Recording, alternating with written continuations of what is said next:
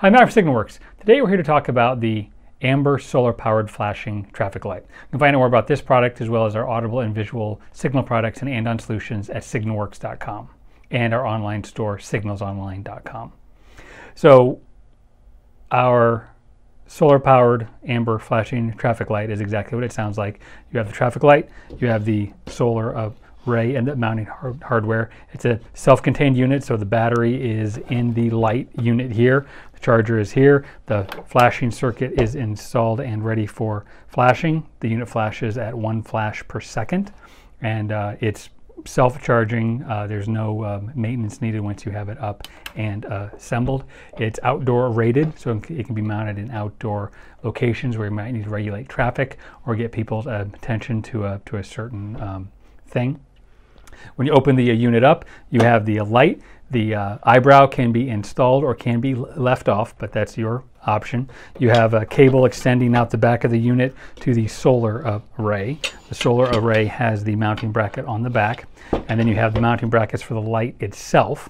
Uh, there are knuckles top and bottom on the light for mounting. So you have one here, you have an opposing one on the bottom. And then the brackets can be installed on those mounting lugs, either um, swept up or they can be mount, uh, mounted swept back behind the, uh, the unit. It's very easy to set up.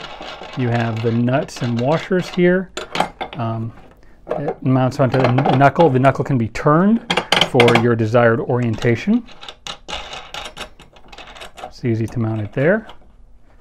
And then you have the opposing one on the bottom.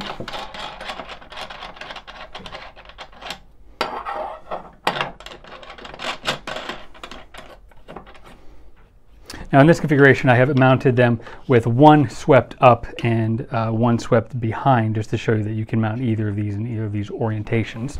Um, you have the solar panel, which needs to be mounted in a uh, southern facing direction. You have the uh, mount here. Depending on how you mount the light, it is possible to mount the uh, solar array directly to one of the uh, brackets as long as that does put it in a south-facing orientation. But the solar array, array, itself could be easily mounted right here on the uh, on the top bracket for the light.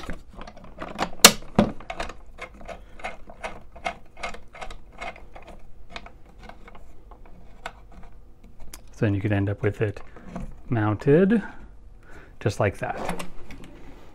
So once again, this is the amber flashing uh, solar powered battery powered uh, traffic light. If you have any questions about this, please don't hesitate to give us a call. Thanks.